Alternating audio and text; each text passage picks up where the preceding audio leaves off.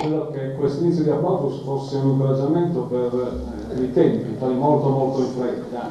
E eh, mi eh, semplifica eh, questo, questa, questa, battuta nel comunicarvi la mia intenzione che eh, la relazione rispetto al ruolo guida della nella qualità intesa sistema verrà poi fornita al, al centro studio già parlato con Angelo Pidas da questo punto di vista. E sono stimolato per, dire, eh, per fare quattro considerazioni su, sugli aspetti che eh, erano contenuti nella relazione ma che poi sono importanti in una realtà come la nostra e per un'amministrazione come quella provinciale che come caratteristica ha la caratteristica di ente di coordinamento. Intanto c'è un problema sulla qualità.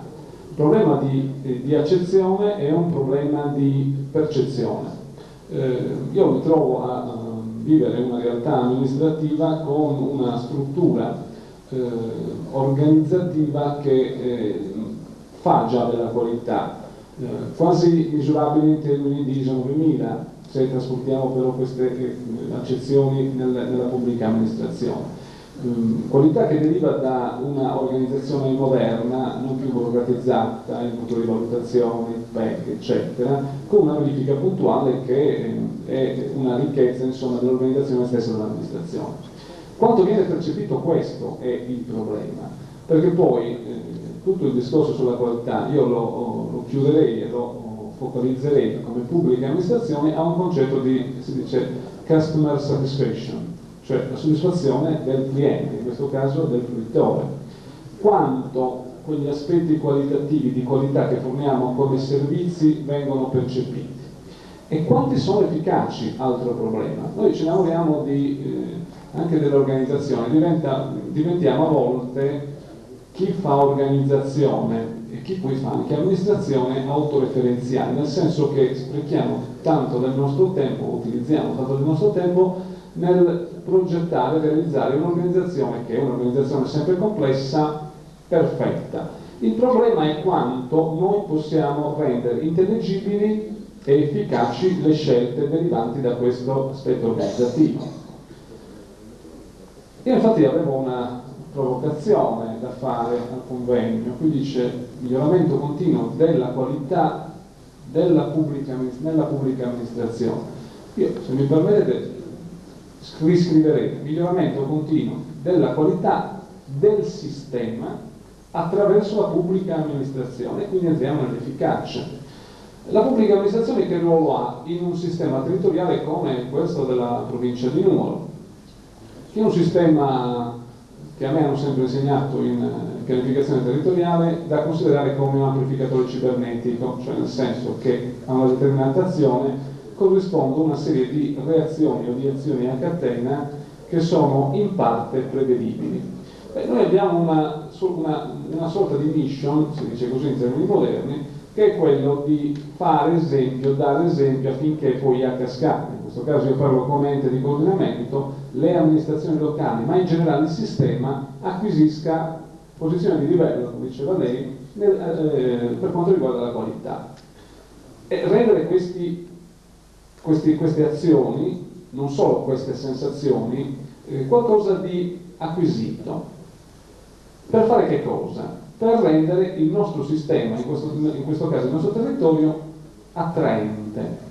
Io ho fatto una campagna elettorale, sono eletto nella primavera scorsa, con uno slogan e dicevo, in apertura di tutti i miei comizi, comunicazioni, santine e quant'altro, noi abbiamo diritto a una vita di qualità, Dicevo vita di qualità perché, poi sottendevo questo slogan, un ragionamento, non si può soltanto parlare in una realtà come la nostra soltanto di soddisfazione dei bisogni primari, soltanto di lavoro, soltanto di salute in termini quantitativi, soltanto di istruzione, non chiusura dei presidi minimi, ma dobbiamo fare un salto di, eh, di livello. Dobbiamo pensare che tutti quanti noi possiamo avere, abbiamo detto possiamo avere dei servizi, degli standard qualitativamente elevati e attraverso questo innalzamento degli standard, del livello dello standard di qualità, essere attrattivi per l'insediamento in questo territorio. Come ci muoviamo? È interessante adesso fare uno step per vedere a che punto siamo con l'attuazione di questo programma, per meglio dire del metodo attorno al quale si, poi si concretizza l'azione amministrativa. Intanto c'è, io vado subito a fare dei, dei, capitoli, a citare dei capitoli perché non, non mi è dato insomma, eh, per la relazione. Intanto c'è una grandissima occasione. L'occasione è derivante dalla, uh, da quello che la regione, o per meglio dire la comunità europea, con declinazione nazionale e regionale, sta riservando alle amministrazioni provinciali e al territorio nella progettazione del futuro. Avete sentito parlare di programmazione negoziata, che è un metodo di progettare il futuro che parte dal basso. Fino adesso abbiamo avuto delle puntualità, ognuno si è fatto un patto territoriale, qualcuno si è fatto una 488 una legge di incentivazione, sul versante infrastrutturale ci sono stati degli interventi a livello di viabilità, a livello di contenitori fisici, a livello di assetto del territorio. Quello che manca e quello che poi è derivante insomma, da questa azione è il quadro generale, l'organizzazione, il PIT, famosa sigla della quale pochi conoscono il, il significato, eh, non per polemizzare con, con Meloni, ma i complementi di programmazione eh, leggiamo in tanti. È vero che i complementi di programmazione, arma importante, arma della regione per lo sviluppo del territorio, a mio parere, lo dichiaro pubblicamente, non sono conosciuti da più di 300-350 persone in Sardegna. E questi sono la, la traccia che segnerà sicuramente per i prossimi 10-15 anni l'avvenire della Sardegna, cosa pericolosa in democrazia. Gli addetti ai lavori. Gli addetti ai lavori. Questo è un deficit, un deficit di democrazia. Deficit di democrazia. Perché colpito e cerco proprio di non di, di chiudere? Perché attraverso questo un'amministrazione come la nostra può obbligare, obbligare, è un termine brutto questo, però in, questo, in, in casi significa spostare il paletto, il limite più in là. Amministrazioni comunali, attori sociali e economici dello sviluppo a organizzare quanto hanno a disposizione in termini di qualità. Cos'è in termini di qualità? Faccio un altro esempio sulle infrastrutture, sulle opere pubbliche, molto minimo. Noi siamo un ente che facciamo strade.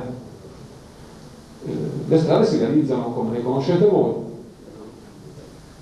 c'è un sistema minimo di qualità, cioè accezione eh, sulla qualità della realizzazione di un'opera pubblica che è la corrispondenza al capitolato speciale d'appalto.